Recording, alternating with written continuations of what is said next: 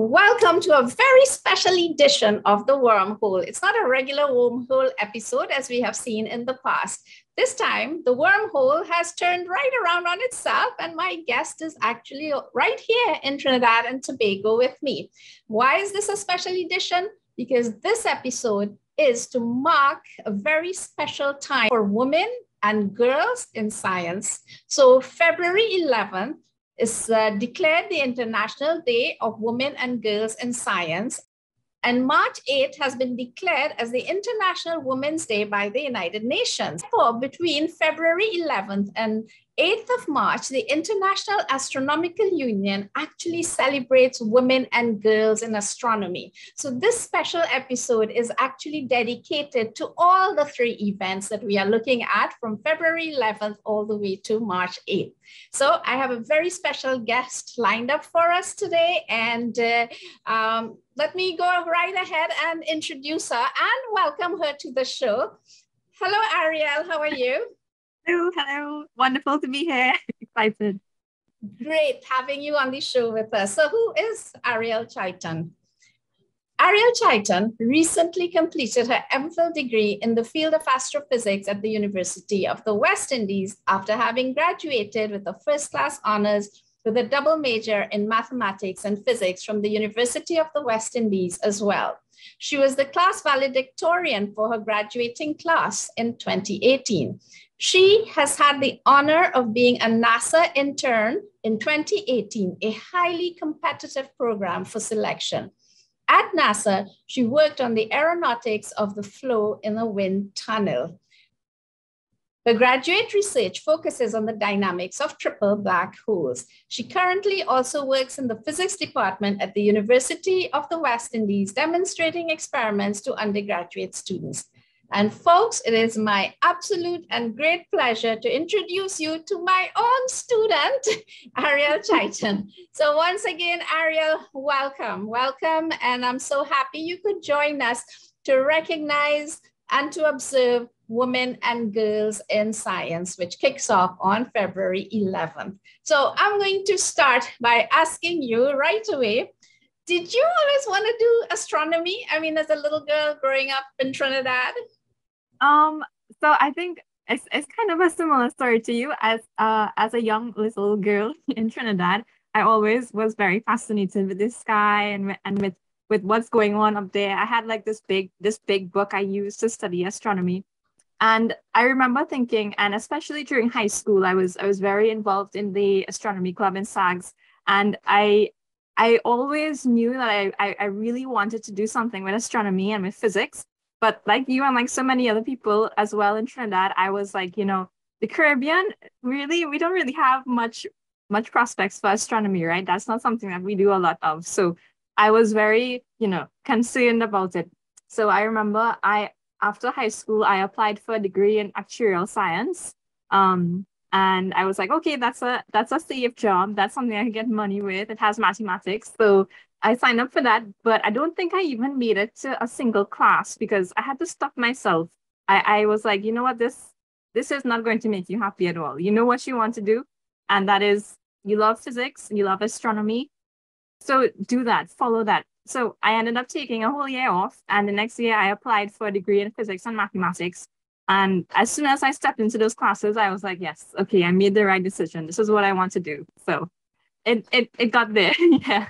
Okay, so you could feel that this is where you belong. And I must say, uh, I'm quite happy for the loss of actuarial sciences is a gain for us in astronomy in the Caribbean.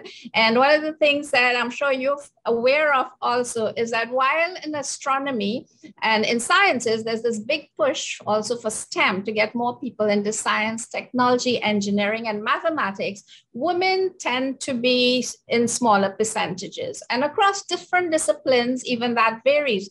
And particularly in astronomy, the number of women and girls in astronomy remain much, much smaller given that we represent half the population. So I'm very happy, Ariel, that you decided to ditch actuarial sciences and join us in the Department of Physics. And it's oh. all science.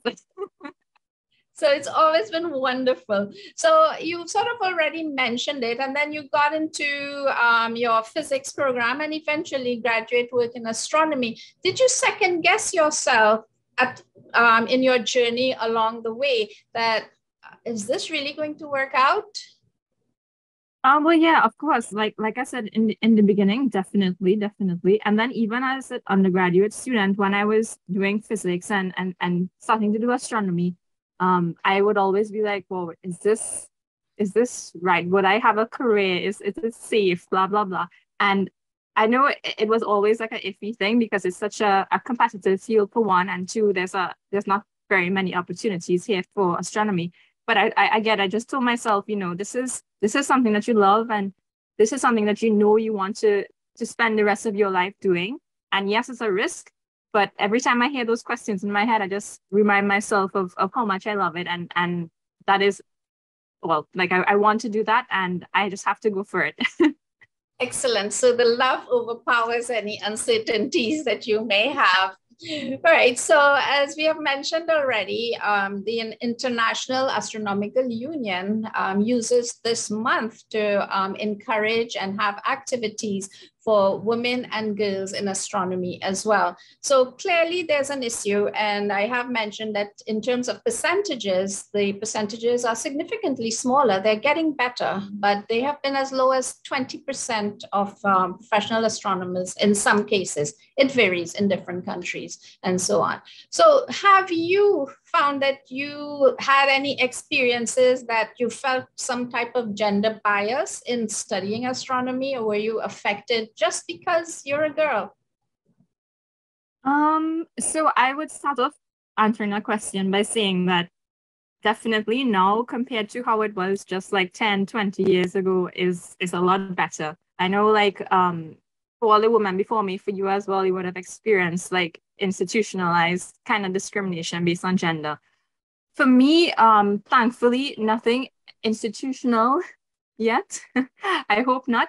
But um, I do remember in high school, like you mentioned, I was doing like applied math and stuff like that. And I remember the classes being predominantly male students, and there would be like just a few female students um, in those classes. And um, I think most of of those types of discrimination that I, I feel is is like the one in in in many kind of interactions that you have with people. I remember when I was in year one of of my undergraduate degree, a very unfortunate incident happened. Um, I was very, like I said, very bright eyed. I really loved astronomy and cosmology and all that stuff. And I had, I think, a, a tutor or demonstrator who was talking to me, and he he was like, um, so what do you want to study later on? And I and I to- told him I want to do cosmology. And I still remember the look on his face and, and the way he watched me. And he's like, no, I think I think you're better off studying something like cosmetology. And I was so I at at at that time being so young and and so wide-eyed about it, that really hurt me in in the moment. But um but right after and even now I always remember it. And I remember also the anger I felt at it. And I kind of used that as fuel to, to to push me to to continue doing it. And and I definitely think, you know, cosmetology, cosmology, why not both? Why not do everything? You know, I think definitely women are, are capable of doing anything and everything. so it's very, very that's quite a story because these are the things sometimes people don't realize these subliminal things yeah. small things someone says incidentally uh, has effect on our mindset and um, that one hurts. That rather cosmetology over cosmology. I agree with you. We can do it all but doesn't mean that we can do cosmology as well. It, the thing is too like they don't I, I don't know if he was trying to be funny if it was a joke but those things kind of end up affecting people as you say yeah yeah, and these are the things that we now have to become very aware of in encouraging young girls uh, in science and astronomy in particular. Something that you mentioned, um, you said that uh, it's been changing and I've been seeing, and it's a wonderful change in a positive direction, maybe not fast enough, but at least it's in a positive direction. So I had the honor to interview um, Dame Professor Jocelyn Bell Burnell. And then I recently watched another feature that she did, and it struck me so much when she said that, well, in her case, it was in the 60s and so on, that when she would go to class and it was primarily boys in the class, they would be thumping and catcalling. And I was like, oh my God, you know, that what women have had to go through to just pursue what they love. So let's hope stories like these, stories like yours, um, change the world for the better. All right. So, Ariel, what are some of the most, what is one of the most exciting experiences that you've had in whatever you've been engaged um, in? Um, I don't know if uh, jumping out of a plane would count as being exciting. Do you think? jumping out of a plane. Did I hear you right? So is that something you would like to do? Is that on your bucket list? It was it was on my bucket list and then I got to cross it off because I did get to jump out of a plane. Ariel, get out of here. That is remarkable. That is amazing. As a matter of fact, I don't think I know personally anyone else who has jumped out of a plane. And in case our audience does not believe us, so guess what? We're now going to take a look.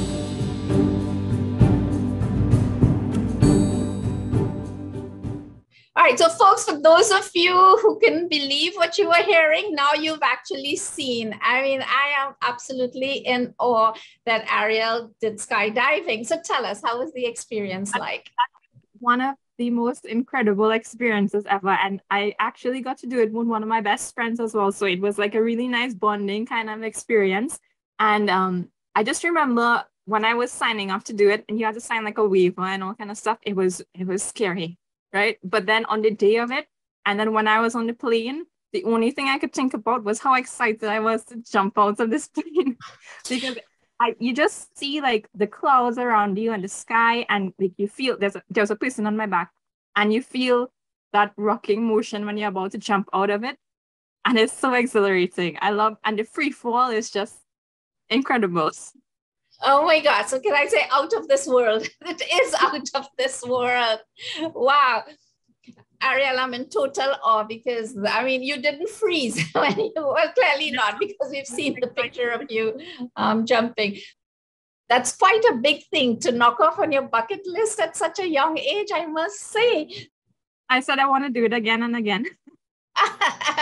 Just keep sending us pictures and we want a video clip the next time.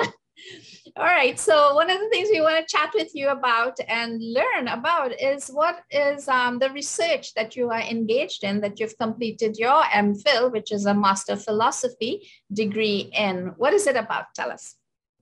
So uh, I'm very lucky that I got get to do some something so interesting. Um, I'm looking at a triple system of black holes. So we consider you know, if, if you thought a black hole, one black hole wasn't complicated enough, we're like, okay, so what happens if we have three of them all together? And we use programming and we try and look at their orbits and their dynamics and see what actually happens. And now what is really, really fun is that we have all these detectors, these gravitational wave detectors on Earth that detect um, when we have two black holes colliding and merging. And eventually in the future, we want to have one that is way up in space called LISA. So I think that is really cool to, to kind of use the research that I'm doing to kind of, you know, look and see where we might be able to see these supermassive black holes merging and colliding. And um, I don't know, it's really awesome because you would think triple systems of black holes wouldn't actually exist, but they do. And we see them when we have two galaxies merging and we have a third galaxy merging as well. Each of those have within them supermassive black holes. So it's a real thing and it's like very very cool to be able to, to study it. As well and why is your research important? Yeah so we what what it is i do is we use um these these programming codes to run simulations and we get like um a numerical data set of their coordinates and stuff like that. And we can actually plot them and see how they move around each other and it's it's, it's really nice it's really wonderful. And um you know, like I said, we have these detectors that are that, that are going to be up and about working soon and sending back data. So we kind of want to know beforehand what it is that we're looking for, what it is, what it is these things actually move like in space, so that when we actually try to look for them, we know what we're looking for. So you know, it's That's just fantastic. I mean, it wasn't too long ago that the first picture ever of a black hole um, we were able to see. And it, some people looked at it and said that it's fuzzy, but those of us that understood how difficult it is to even image a black hole, that was just mind blowing.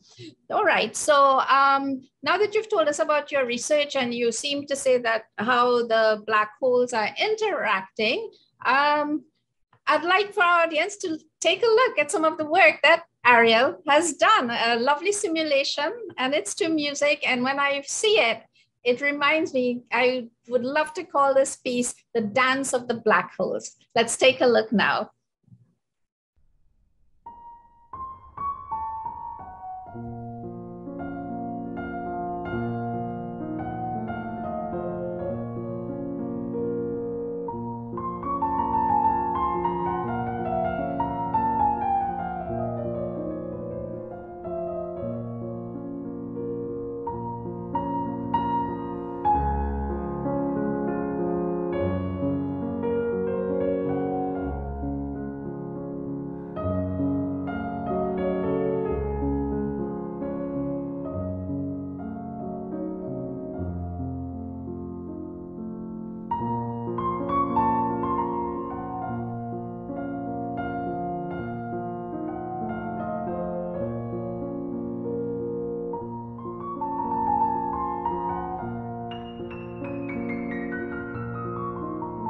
Well, that was just amazing. Isn't that something that you can watch over and over and listen to? And that's the beauty of astronomy, of science, uh, and mathematics, and the wonderful dance the black holes are doing.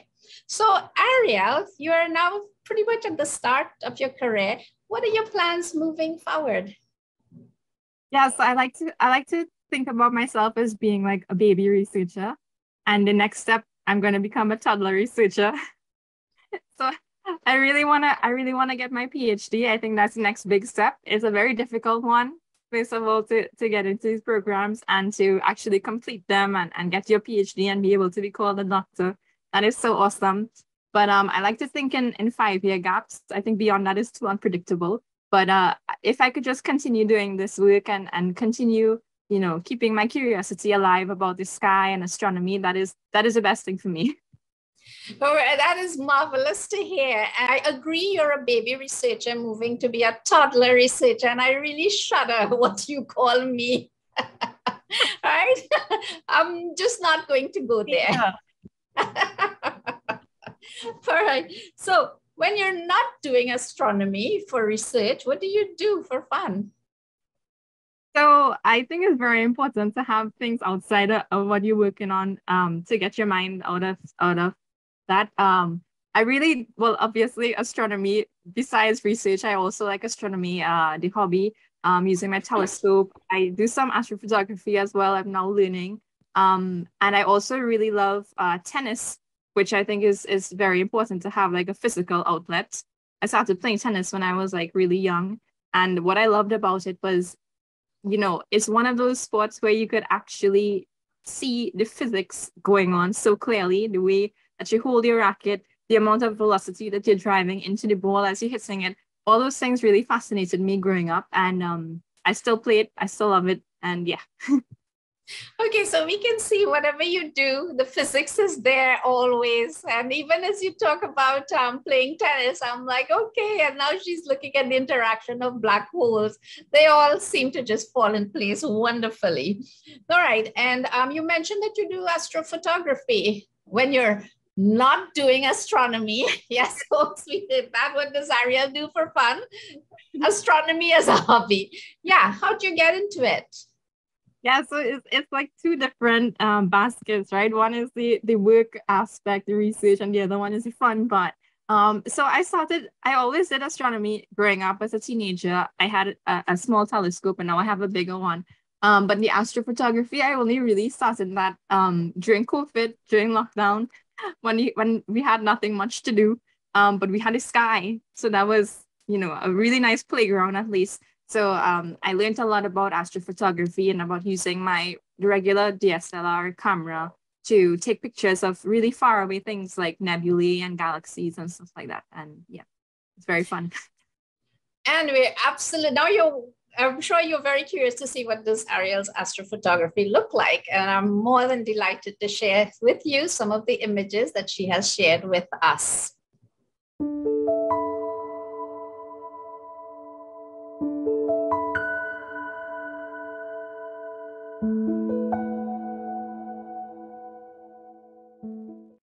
You can see what you love, you can do it as a hobby, and you can make a profession out of it. And for Ariel, it's all been all about astronomy and the universe. So Ariel, on the wormhole, we do these signature questions, right? And now I'm going to throw them at you. So, what gives meaning to your life? Wow. You're starting right. the first question out of the gates, and it's like the biggest one ever what gives meaning to your life? Um, I think anyone would struggle to answer that question, right? And definitely as the different stages of your life, that answer would change as you get older too. I would say for me, what gives meaning to my life, like taking a walk in nature, for example, I I realize when I when I take a walk in nature and I and I take a step back from everything that that is cluttering our minds now and just look at these simple things like like the leaves on a tree or or I have a lot of dragonflies in my backyard, so I, I, I look at them a lot. Um, but if you look at the wings of a dragonfly and you see just how how complicated that that structure is, and how you can see the mathematics in it as well, it, it is really mind-boggling to to think about that. And then you kind of expand that and you look at anything that is around you, anything in nature, this world, this universe, it's so complex and it's so complicated, yourself included the, the way that you are you are made up it is so complicated so complex. And i think that is not something that that we often think about. And um it kind of ties back into also when i when i look at the night sky and you look up and you you kind of see how far you don't really see how far away everything is right? You kind of just get this sense this realization that whoa those things are big and they're far away and we are very tiny we are very small. And and for a little bit you kind of think you know it doesn't matter but it really it really makes me instead of feel insignificant it makes me feel significant in a way that that we as humans get to exist. We are lucky that the atoms formed in this way to allow our short existence and that kind of gives makes me feel meaningful at least. That's just amazing and um, it's i think it's all about your place in the universe and I can actually really see why you said that you're always drawn to physics and mathematics is sort of seeking the answers for the things that really touched your soul. Ariel, as a teacher of yours, I can tell you that you have a scientific soul, and I hope you will always burn that torch very, very brightly. All right, so something much lighter than what gives meaning to your life. Um, what's your favorite movie and or book? I think my favorite, um, my favorite movie definitely has to be one called Jojo Rabbit. It's it's not a very popular movie, but you know it. No, and, actually, I'm now writing it down on my list of movies to catch up on. I Taika Waititi, and it's it's one of the most amazing movies I've ever seen. I, I saw it in a cinema, and like as the credits rolled, I just sat in the seat and I I just cried because it was so beautiful. Thankfully, the lights were still off, but but it was good. It's actually a dark comedy movie. Uh, for books, I, I really like to read. I think um one of my favorite authors is Stephen King. But to keep it in the theme, I will tell you one of my favorite books is uh by I don't know if you can see it. I have it here. Uh, by Chris Hadfield. You know the guy who the astronaut. Yeah. Um, an astronaut's guide to life on Earth, What going to space taught me about ingenuity, determination, and being prepared for anything. And I actually read this book while I was at NASA, so it was kind of extra special. Um, it's a really, really great book. Wow. While I have a lot of books in my library, believe it or not, I don't have that one. So right after our show, Amazon, here I come. I'm going to get my copy of that. But that's really wonderful to know. Um, it's amazing how reading really enlightens our souls and movies bring us back down to earth, more or less. All right. So, um, as we are going to be now wrapping up our segment, um, while you have talked quite a lot about things that um, have amazed you. Very briefly, can you tell us a thought, an idea, or discovery that blows your mind? Um, one. one. I know. I was not gonna say there's so many different things to talk about. Okay, so one that I, I heard about quite recently from a podcast or something that that the physicist Brian Greene was on. He was talking about something called a Boltzmann brain, which just leaves me incredibly mind blown. It's one of the coolest concepts ever. I don't know if I could very briefly say oh, what it is. Please do, please do. I'm sure you have our audience very curious now. So it's like um, it's it's a thought experiment, right? It's not anything concrete or anything like that. But what it says is, you know, space. Um, if you if you zoom into it, the quantum level, there's a lot of like fluctuations and stuff going on, and you know, um, matter and antimatter could spontaneously appear and then disappear and it, it kind of says you know if we have um, a really long time scale going on there's a probability that a fully formed human brain could just spontaneously appear in the void. And this human brain this human brain could could have a thought or two and um before it disappears again. So so the, the boltzmann brain is kind of like the question of are we right now just a boltzmann brain? Is this brain like like the patterns of my brain is did it just did that configuration just appear in space randomly? And am i just floating through the void going to disappear right away? So that's kind of what a boltzmann brain is. It's that is mind blowing. Okay, that definitely deserves the title of mind blowing. Literally, literally, because yes, you talk about the brain appearing. Um, so it's fantastic, really, the hypotheses that one can have and ideas and thoughts that uh, thinkers spend their time thinking on and uh, really marveling on our own existence. Okay, so here's the last one. If you could have any animal spirit what would it be? Um, I would just say a bear, a grizzly bear, because a grizzly bear is, is one of my favorite animals. When I was um when I was younger, I think I, I watched every single documentary about a grizzly bear I could find because I think they are, you know, they're so cute and cuddly and fluffy, but in a second they could become the most ferocious creatures that just gonna like rip you apart without care. You could shoot at those things and nothing, they it wouldn't phase them. they just like they like doing their own stuff and and not having people bothering them. I think that's what I like about them a lot. okay, so grizzly bear for you. I must say it would not have been my first guess. You know, well, you like flying out of uh, jumping out of planes. I thought maybe Ariel might go with an eagle or a bird. No, it's a grizzly bear it's so wonderful to get a little insight into your thoughts. And, um, and I really want to thank you, Ariel, for joining us on this special edition, special episode of The Wormhole, where we are celebrating women and girls in um, astronomy as well as in science, and of course, the important role of the International Women's Day. And as we can see, you have really shown the um, all that you have achieved at such a young age, and I'm really excited personally to be following your career as you uh, move along it was such a special honor for me to have my student on and i've been really excited that hey through the wormhole we are both in trinidad yeah. but i can connect up with ariel.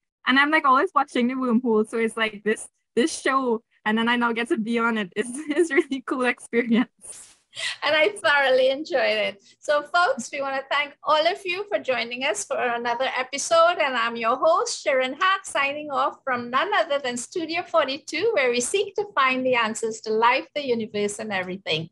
Bye.